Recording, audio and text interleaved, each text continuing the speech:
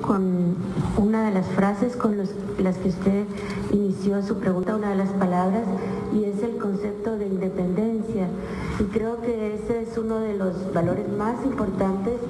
del grupo interdisciplinario de expertos independientes, porque nosotros vamos a realizar nuestro trabajo que está enfocado en dos líneas muy importantes. Coadyuvar con las investigaciones,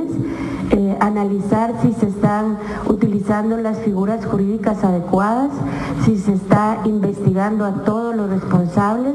si las pruebas que se están diligenciando son las pruebas pertinentes para el esclarecimiento de estos casos y otra parte del mandato es enfocado a las víctimas y la reparación. Y eso lo vamos a hacer como grupo con eh, acceso a todas las fuentes abiertas de información, así está establecido en el acuerdo que suscribieron las partes y la única guía que nosotros vamos a tener para recomendar nuevas líneas de investigación es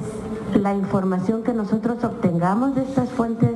abiertas, el análisis que realicemos y los estándares internacionales para una investigación adecuada de este tipo de hechos.